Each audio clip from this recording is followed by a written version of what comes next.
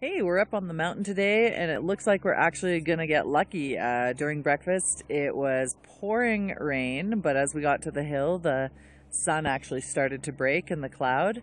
It's a downhill training day, so I'm training some GS, but the start area of the downhill race is right here, and uh, well, of the training run, anyways, and they're gonna get started pretty soon, so they get lucky on the weather as well. And I'm up this way training GS. I'm just waiting for. Uh, the track to get salted and then we're going to let it set up a little and then uh, and then we're going to get to work. Here's a couple of my teammates now coming by. Wave girls.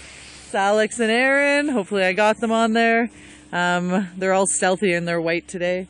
Anyways, uh, now that I've caught up to them or they've caught up to me, I guess I'm going to go and uh, get to work. Talk to you later. But you know what my real problem is?